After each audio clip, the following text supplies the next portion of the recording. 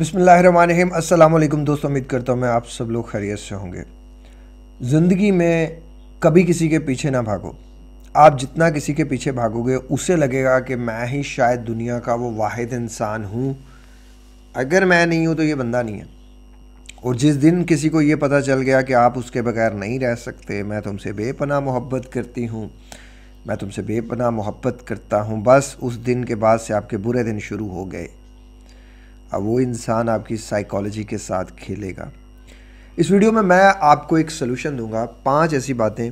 अगर ये बातें आप कर लेते हो तो अगर तो कोई रिश्ता आपको छोड़ भी रहा है ना तो वो भी वापस आने के चांस 99 पॉइंट हैं। बाकी जिसने फैसला कर लिया कि उसने नहीं रहना साथ तो उसने नहीं रहना साथ। आप जो मर्ज़ी कर लें, मैं जो मर्ज़ी कर लूँ, लेकिन फिर भी एक कोशिश लाजमन कीजिएगा।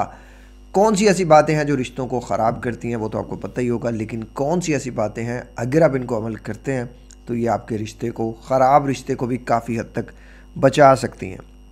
जैसे कि मैंने अभी कहा कि कभी किसी को ये ना बताएँ कि मोहब्बत करता हूँ बेपना मोहब्बत करता हूँ, नहीं बचूँगा, नहीं रहूँगा, बस फिर बच्चू उन्हें कहना, आया हूँ थल्ले।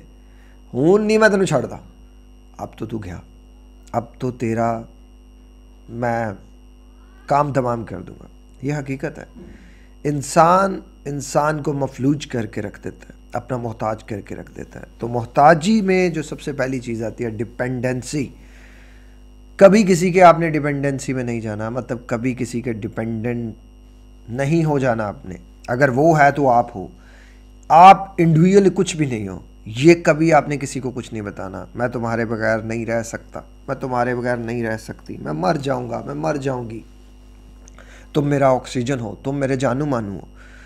तुमसे मैं बेपना मोहब्बत करती हूँ, तुमसे मैं बेपना मोहब्बत करता हूँ। मोहब्बत आफ्टर निकाह जायज़ है, आप करें। लेकिन कभी किसी को ये ना बता दें, भले निकाह के बाद भी, आप ये ना बता दें कि भाई तू है तो मैं हूँ। एक हद तक रखें हर चीज़ को, हर मामला को। और एक कहीं ना कहीं एक उसके दिल में ये डाउट होना चाहिए कि यार अगर मैं इसको छोड़ भी दूँगा ना, या मैं इसको छोड़ भी दूँगी तो ये कहीं और एडजस्ट हो जाएगा। जब तक आप बंदे को ये चीज़ रखेंगे ना, वो आपको छोड़ने से डरेगा। लेकिन जिस दिन आपने ये बता दिया कि, छोना बाबू, मेरे जानू, तुसी तुसी हो, आप ही आप हो, आप नहीं तो कुछ नहीं। बस, फिर आपकी उल्टी गिनती शुरू। क्योंकि रिश्ता ख़राब ही तभी होता है जब इंसान दूसरे इंसान का जो है वो डिपेंडेंट हो जाता है। जब वो दूसरे इंसान को अपना सब कुछ मान लेता है और वो समझता है कि ये इंसान मेरी सांसों को कंट्रोल करने का इख्तियार रखता है। और कभी भी ये इख्तियार किसी इंसान को ना दे। ये इख्तियार अल्लाह के पास है, उसी के पास ही रहने दे। दूसरी चीज़ रिलैक्स रहना सीखे। हर वक्त की जल्दबाजी, शिकवे शिकायत एंशियस रहना, गुस्से में रहना, ये अच्छे भले हेल्दी रिश्ते को भी ख़राब कर देता है। छोटी छोटी बातों पे गुस्सा कर लेने से आपका मज़बूत से मज़बूत रिश्ता भी टूटना शुरू हो जाता है। हम कितने भी अच्छे इंसान क्यों ना हो, हम सब। आप बर्दाश्त कर लोगे कि एक इंसान आपको रोज़ गालियाँ दे या रोज़ गुस्सा करे या रोज़ आपसे तलख कलामी करे, आप कितनी देर कर लोगे? एक इंसान को आप कोई काम करो वो कोई और करना शुरू कर दे, आप कितनी देर उस इंसान के साथ रह लोगे? तो अगर आपको आदत है इंशियस रहने की, अगर आपको आदत है गुस्सा में रहने की तो गुस्से वाला इंसान कभी किसी की बात सुन सकता है। इंशियस इंसान कभी किसी को वो काम करके दे सकता है जिसके बारे में वो इंसान उससे डिमांड कर रहा नहीं करेगा। ये हमारा इख्तियार होता है ये हमारा फ़ैसला होता है कि हमने किसी इंसान को कैसे रखना है। आया हमने उस इंसान को अपने साथ रखना है ये वक्त आने पे उसको दूर कर देना है। लेकिन बदकिस्मती के साथ हमारी जो है वो आ, इतनी ट्रेनिंग ही नहीं हुई होती कि हम किसी रिश्ते को बहुत देर तक अपने साथ रख सकें। हम अपनी जल्दबाजियों में गुस्से की आदत में बिला वजह लड़ने झगड़ने की आदत में और हर बात पे टोंट कर देने की आदत की वजह से अच्छे से अच्छे रिश्तों को भी तोड़ देते हैं, अच्छे से अच्छे रिश्तों को भी छोड़ देते हैं। आपने देखा होगा, बहुत अच्छी लड़कियाँ होंगी, बहुत अच्छे लड़के होंगे, फिर भी अकेले होंगे। कोई दोस्त नहीं होगा। कोई लाइक अगर शादी भी हुई होगी तो एक हद तक कोई चली होगी, नाकाम रह गई होगी। अगर जब आप उन इंसानों में देखेंगे तो सबसे बड़ी रीज़न जो आएगी, या तो वो बिला वजह परेशान रहते होंगे, या बिला वजह उलझे रहते होंगे, या बिला वजह गुस्से में रहते होंगे। आप अपने गुस्से को जिस दिन कंट्रोल कर लेंगे, आपका रिश्ता उस दिन से ऑटोमेटिकली हेल्दी होना शुरू हो जाएगा। आप जब परेशान होते हो, आप क्या चाहते हो? आपकी सबसे बड़ी क्या चीज़ होती है? आपको वो लोग याद आते हैं जो आप पे हँसते हैं या वो लोग याद आते हैं जो आपके साथ मिल रोते हैं, आपको सुनते हैं? जी हाँ गुड लिसनर अगर आप एक अच्छे लिसनर हैं ना तो मैं गारंटी देता हूँ आपका लाइफ पार्टनर कभी भी आपको नहीं छोड़ने वाला। कभी भी आपको छोड़ के दूर नहीं जाने वाला। हम, मैं मैं जब परेशान होता था तो मैं अपने एक दोस्त को कॉल करता था। हाँ किधर है? वो कहता था, यार, मैं इधर हूँ। अच्छा चल, मैं आ रहा हूँ। वो फिर आगे से कहता था अच्छा आते हुए ना, पैसे लेता ही ताकि मिल के बैठ के कोई चीज़ भी खाएँगे और तेरा दुख भी सुनेंगे, तेरा दुख बहुत बड़ा है। तो आप उस वक़्त में उस बंदे को याद करते हो, जो आपके लिए एक अच्छा लिसनर होता है। अगर आप एक अच्छे लिसनर हो तो आपका रिश्ता बहुत स्ट्रांग है। ये कभी भी टूटने वाला नहीं है, कभी भी वो इंसान आपको छोड़ के जाने वाला नहीं है। रिश्तों में सुनने की आदत को डालें, वरना वही बात आ जाएगी, फिर आप उस बंदे के पीछे भागते रहेंगे और वो बंदा आपको हाथ नहीं पकड़ाएगा। अगर आप रिश्ते में पहले से ही, शुरू से ही सुनने की आदत रखें तो ये बड़ा ज़बरदस्त किस्म का आपका टेक्टिक है कि आपका जो है रिलेशन भी बचा रहेगा और आपकी एक पावर भी रहेगी। एक साइकोलॉजिकल ट्रिक मैं आपको बताता हूँ। बहुत ज़बरदस्त किस्म का हस्बैंड्स के लिए ख़ास तौर पे। अब ये नहीं है कि मैं यहाँ मर्दों की फेवर कर रहा हूँ बट हस्बैंड्स के लिए ख़ास तौर पे, जो ये कहते हैं कि बेग मात अक्सर नाराज़ रहती हैं। फिक्स टाइम ट्रिक अब ये क्या है? ट्रिक कैसे काम करती है कि जब भी आप ऑफ़िस से या काम से घर वापस जाएँ, आप अपने लाइफ पार्टनर के लिए भले दस रुपये की ही कोई चीज़ क्यों ना लेकर जाएँ, चीज़ लाजमन लेकर जाएँ। क्या होगा? उसके साइकोलॉजिकली एक पैटर्न डिवेल्प होगा।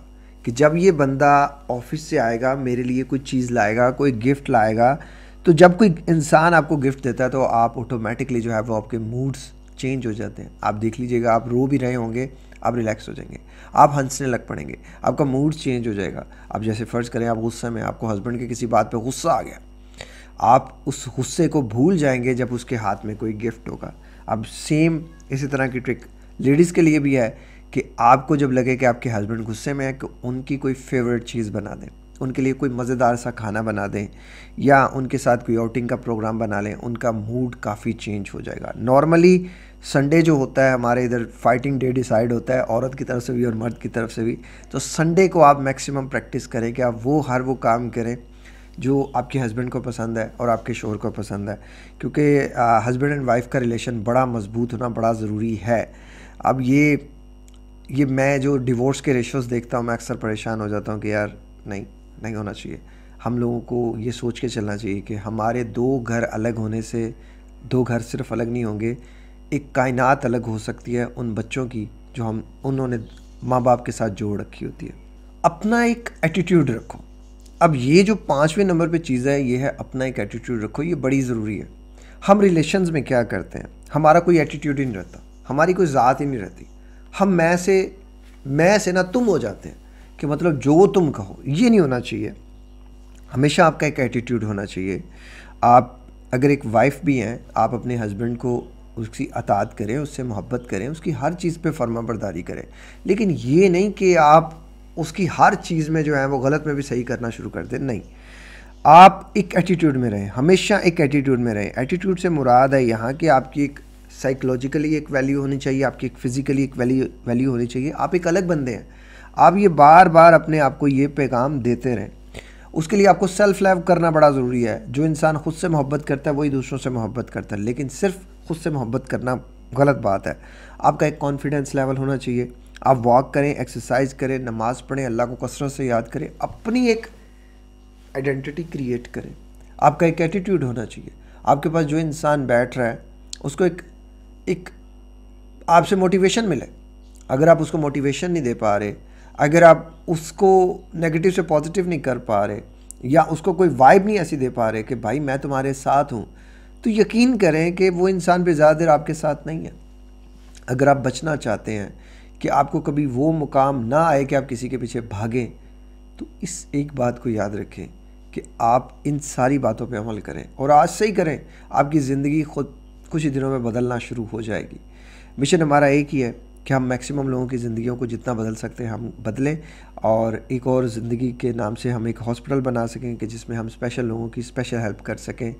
और इस सब के लिए दुआ कीजिएगा। अल्लाह ताला मुझे इस नेक मकसद में कामयाब करे। अपना ख्याल रखिएगा। अस्सलाम वालेकुम अल्लाह हाफिज़।